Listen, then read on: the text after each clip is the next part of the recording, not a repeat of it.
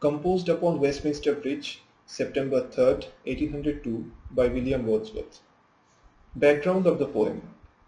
The poem is actually a Petrarchan sonnet of 14 lines having the octave and sestet division. Octave refers to the first 8 lines while the sestet refers to the last 6 lines. The poem was probably based on his experience on July 31, 1802 while Wordsworth was on his way from Dover to London with his sister Dorothy. They were going to France. However, it was dated September 3, 1802 as he had perhaps completed the poem on that date after returning to London. The poem speaks about the beauty of London and the river Thames early in the morning as viewed from the Westminster Bridge. তো এই যে কবিতাটা composed upon Westminster Bridge September third eighteen hundred two By William Wordsworth এই কবিতাটা actually একটা Petrarchan sonnet বা Italian sonnet sonnet যেহেতু সেই কারণে চোদ্দটি লাইন রয়েছে এবং এই সনেটের জেনারেলি দুটো ডিভিশন থাকে।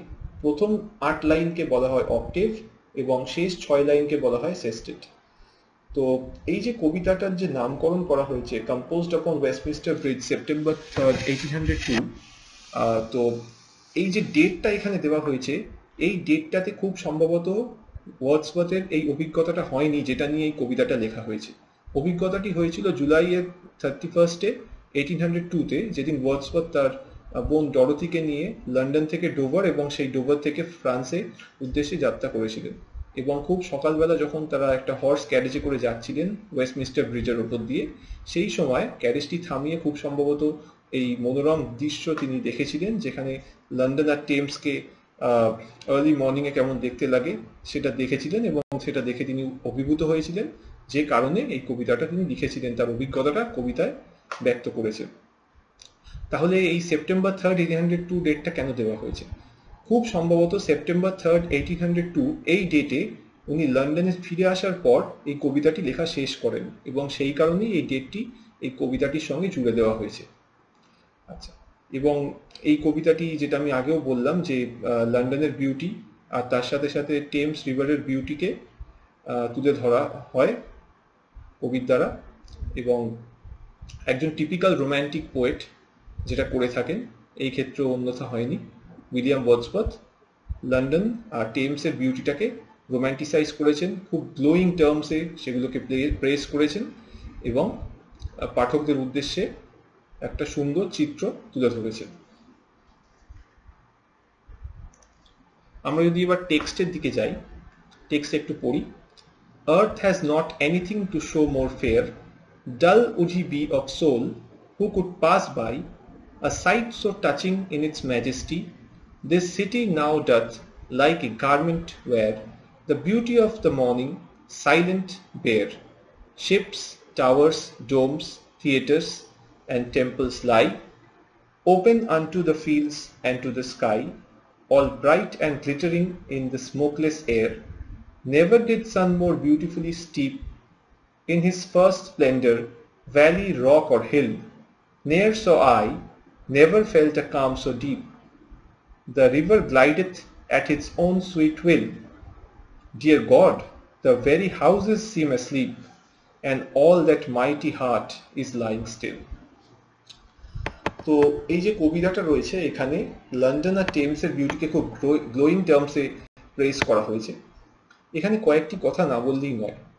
উইলিয়াম ওয়ার্ডসওয়ার্থের যে সময়কালটা আমরা যদি দেখি উইলিয়াম ওয়ার্ডসওয়ার্থের জন্ম হয় সেভেন্টিন সেভেন্টিতে এবং তিনি মারা যান এইটিন ফিফটিতে তার মেন যে মানে peak time of composing poetry সেটা হলো ইন সেভেন্টিন নাইনটিজ আর এইটিন হান্ড্রেড ওই সময়কালে উনি একটা রেভলিউশন নিয়ে এসেছিলেন ইংলিশ পোয়েট্রিতে রোম্যান্টিসিজমের রোম্যান্টিসিজমকে হাতিয়ার করে তিনি কবিতার জগতে একটা নতুন বিপ্লব নিয়ে এসেছিলেন এবং তার যে আরও সমসাময়িক কবি স্যামুয়েল টেলার কোলরিজ তার নাম আমরা বলতে পারি। এনারা খুব গ্লোয়িং টার্মসে নেচার পোয়েট্রি লিখতেন। নেচারের বিউটি কান্ট্রি সাইডের বিউটি গ্রাম্য পরিবেশের বিউটি এই বিউটিগুলোকে তারা তাদের কবিতায় তুলে ধরতেন এবার এই কবিতাটা একটা ইন্টারেস্টিং জিনিস হয়েছে। London is not a countryside at all London কিন্তু একটা হার্ডকোর সিটি তো এবার একজন রোম্যান্টিক পোয়েট তিনি একটা সিটির বিউটি তুলে ধরবেন, তাও এত সুন্দর টার্মসে সিটিটাকে প্রেস করবেন। সেটা খুবই একটু অবিশ্বাস্য জিনিস, কিন্তু সেটা ওয়ার্ডসওয়ার্থ এই কবিতায় সম্ভব করে তুলেছে। সিটিকেও যে ইকুয়ালি সুন্দরভাবে প্রেস করা যায় সিটির বিউটিটাকেও যে ইকুয়ালি নজর কাড়াভাবে একটা কবিতার মধ্যে তুলে ধরা যায়, সেটা কিন্তু এই কবিতাটি না পড়লে আমরা জানতে পারব না। তো এই কবিতাটা এবার যদি লাইন বাই লাইন দেখা যায়, এখানে কিন্তু কয়েকটা জিনিস খুব ইন্টারেস্টিং সেটা হলো প্রথমে উনি বলেছেন, দেখো যে earth has not anything to show more fair তার মানে একটা খুব এক্সাজারেটেড স্টেটমেন্ট দিয়ে শুরু করেছেন। বলছে যে earth has any not anything to show more fair মানে পৃথিবীতে এর চেয়ে সুন্দর বা মনোরম দৃশ্য আর নেই। Dull would he be of soul who could pass by a sight so touching in its majesty বলছে যে এইরকম একটি দৃশ্যকে অবজ্ঞা করে এগিয়ে যেতে পারে। এরকম একটি ম্যাজেস্টিক দৃশ্য, এবং এরকম একটি মনোরম দৃশ্য, এরকম একটি সুন্দর দৃশ্যকে যে অবজ্ঞা করে এগিয়ে যেতে পারে, তার মতো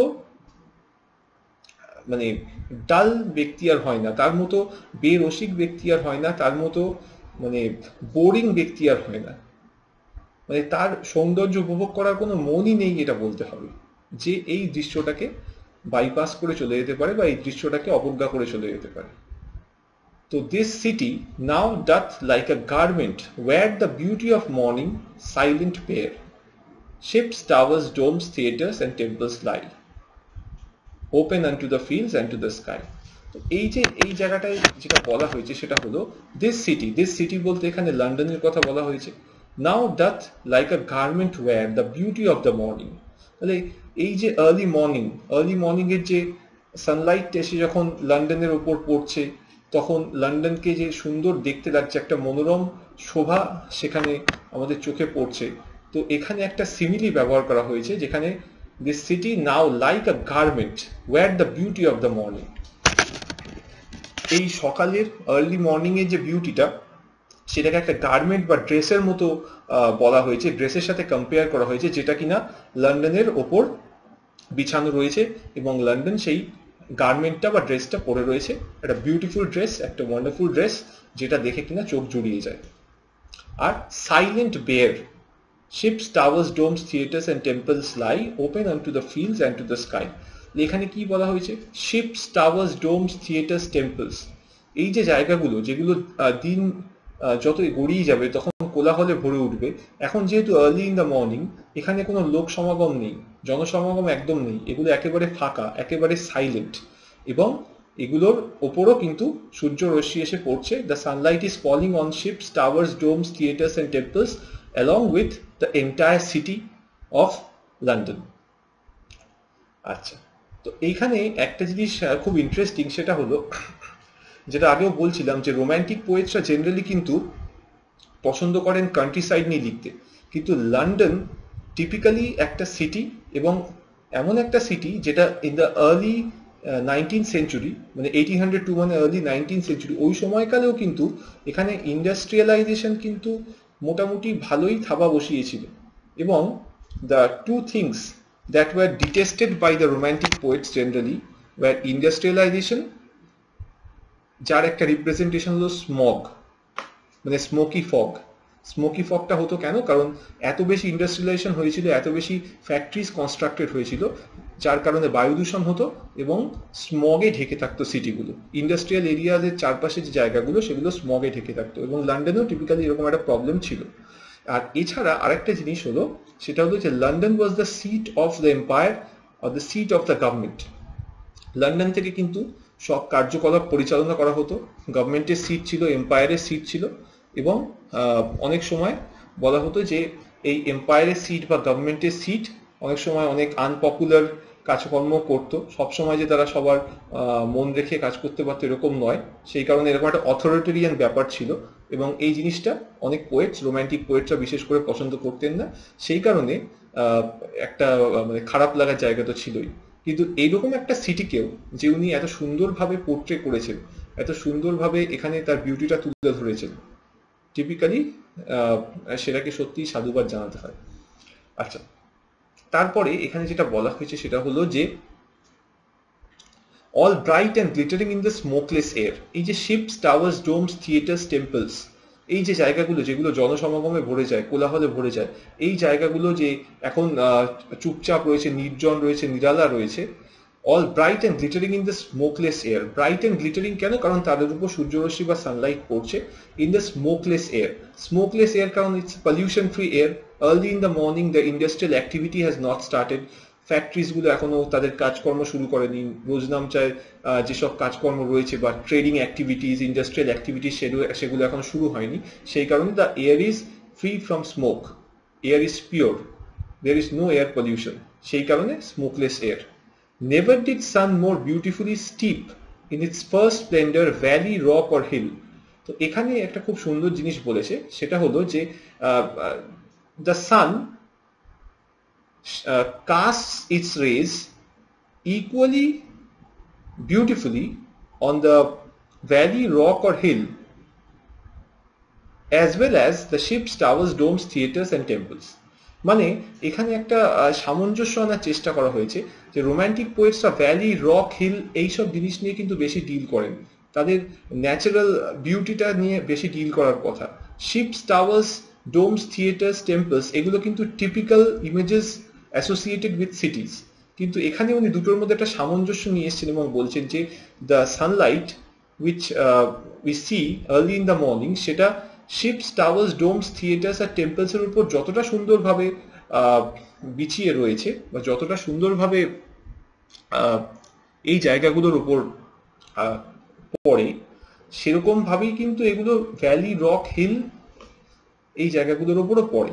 সুতরাং দুটোর মধ্যে একটা সামঞ্জস্য নিয়ে আসার চেষ্টা করা হয়েছে। আর এখানে যে স্টিপ কথাটা, স্টিপ কথাটার মানে হলো স্লোপ ডাউন এই কবিতাতে স্টিপ কথাটার মানে স্লোপ ডাউন তার মানে সানলাইটটা পড়ছে অ্যাকচুয়ালি ঠিক আছে?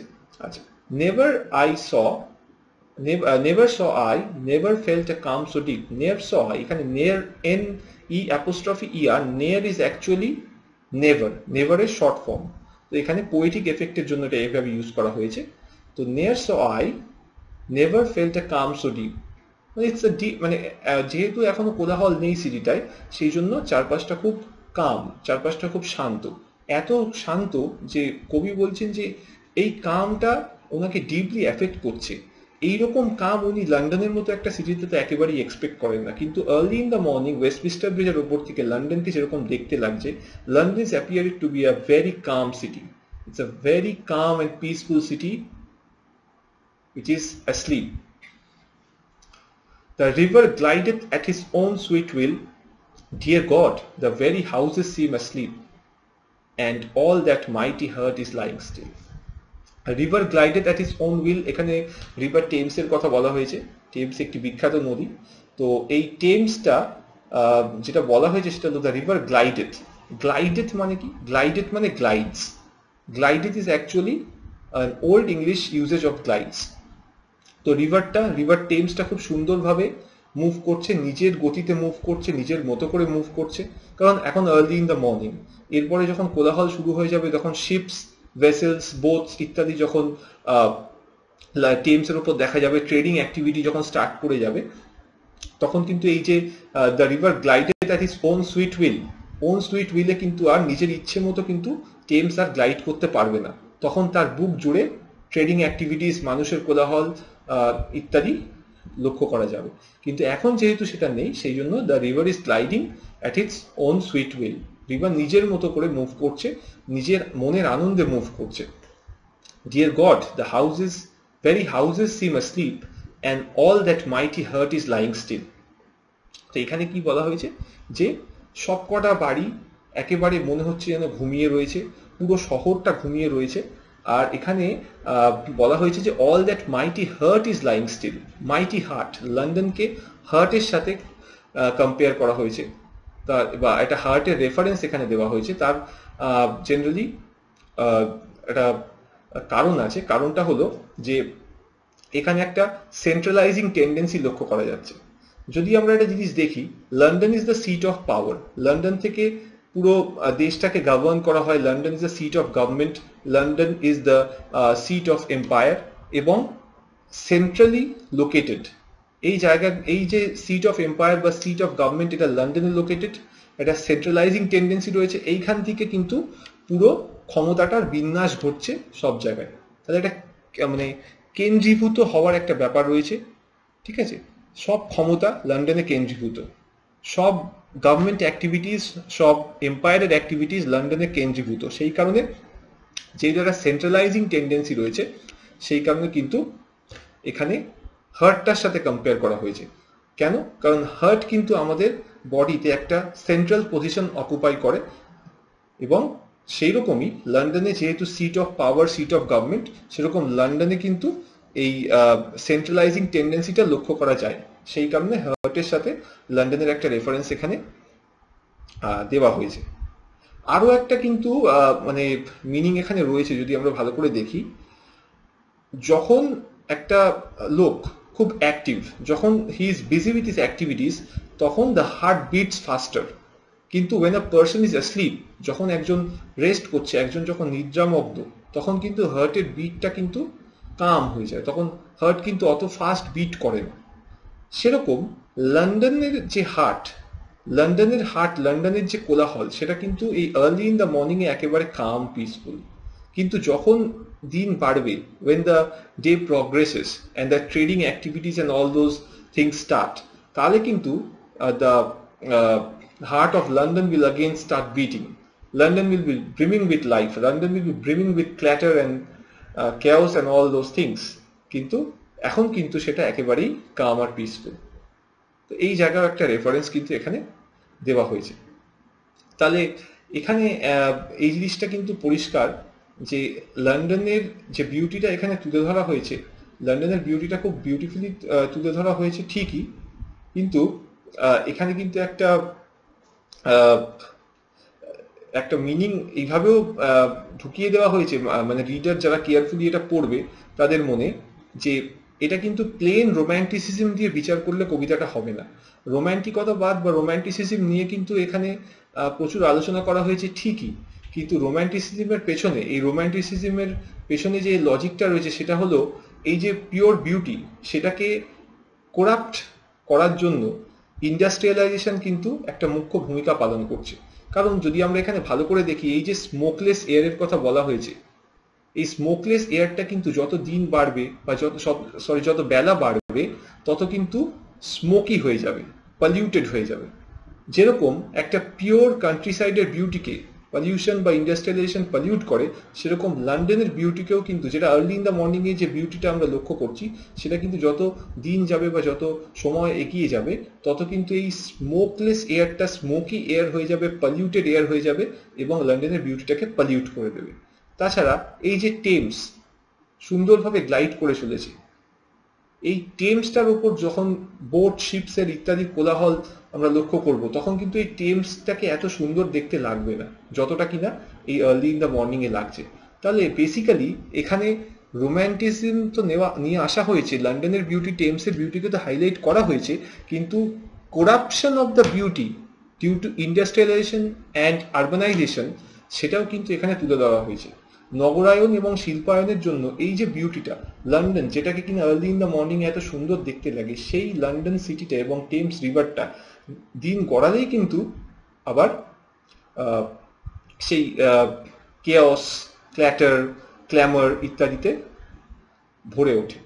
তো সেই জিনিসটাও কিন্তু একটা আমাদের মনে রাখতে হবে যে ওই জিনিসটার কথাও কিন্তু এখানে কবি বলতে চেয়েছেন।